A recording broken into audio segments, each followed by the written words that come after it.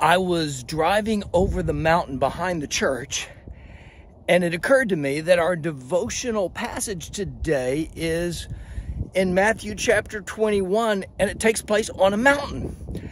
Uh, it's not the mountain that Cecil Ashburn goes over in Huntsville, Alabama. It is the mountain uh, in Israel called the Mount of Olives. And our story today talks about the triumphal entry. Every time I take a group to Israel, I walk down the mountain with our group if they are physically able. If you look down below me, uh, that's the location of the church, way down there. Imagine walking to the church from here. Uh, the Mount of Olives is not quite this high, but that's what happens today in Matthew chapter 21. Jesus walks in a triumphal way down the Mount of Olives and into the city of Jerusalem below. So let me read it to you. Uh, Matthew chapter 21. The scripture begins in verse 1 saying, When they approached Jerusalem and had come to Bethphage, to the Mount of Olives, Jesus sent two of his disciples. This is what he said.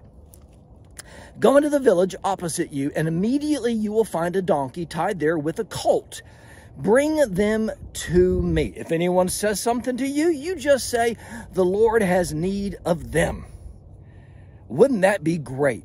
If you needed a new car and you went on to the new car lot and, and you looked at the salesman and said, The Lord needs this BMW.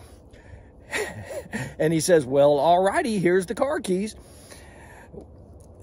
the Lord needed a donkey. And the Bible says it was actually a colt, but they brought the donkey with the colt. Mark's gospel tells us this was a colt which had never been ridden. And so, having grown up in Texas, I've I've talked to a few ranchers in my life, and they will tell you that nothing is more unruly than an unbroken colt.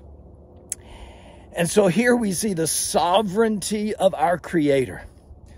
Jesus, who could suspend the laws of gravity and walk across the sea. Jesus, who could calm a storm with a word, could also calm a wild colt upon which no one had ever ridden. And that's the first miracle in this passage.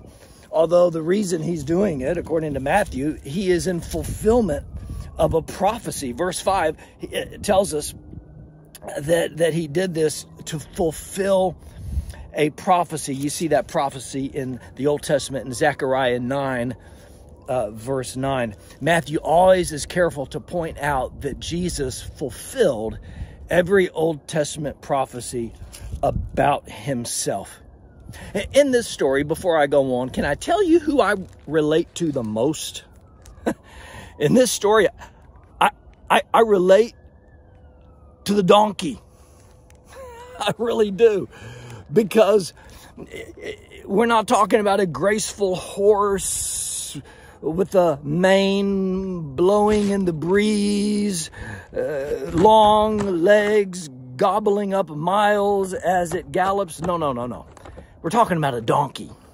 Ears that are too big for its head, unruly hair, they make goofy noises. Hee-haw. In this story, I feel like the donkey. But here's the thing.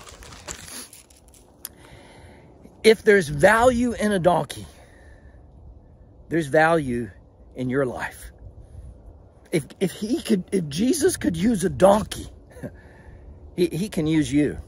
Uh, it's a startling thing what I read in verse 3 the Lord has need of it.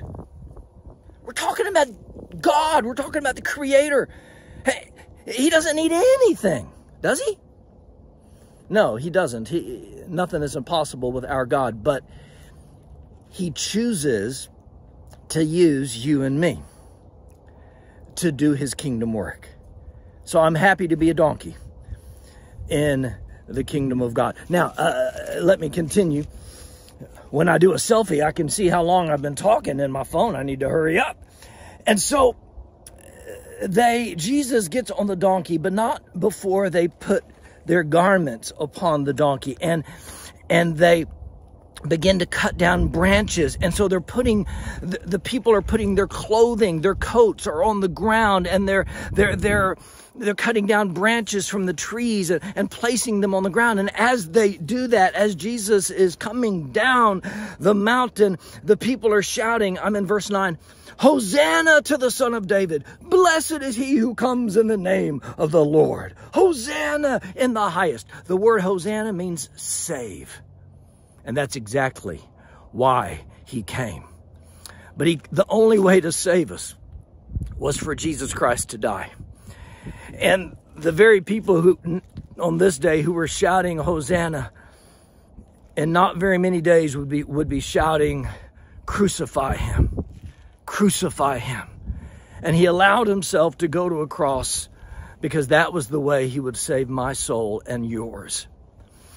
One thing they did get right on that day, by casting their cloaks upon the ground and the branches upon the ground, uh, this is something the ancient world did whenever they were welcoming a king who was entering a city. And indeed, Jesus is the king. He's the king of all kings and the Lord of all lords. Now, when a king entered a city on a stallion, that meant he was coming for battle. But whenever a king entered a city on a donkey, that meant he was coming in peace. Jesus entered Jerusalem humbly, seated on a donkey, the Prince of Peace who would go to a cross in order to give us peace with God. But may I tell you one of these days, the humble king riding on a donkey is going to become a conquering king, coming again in the clouds of heaven. The Bible tells us in 1 Thessalonians chapter 4 that Jesus Christ will come again. And here's what's fascinating. When the book of Revelation describes it, chapter 9, 19, verse 11, Revelation 19:11 says, when Jesus comes the second time, he will be upon a white horse, and his name is faithful and true.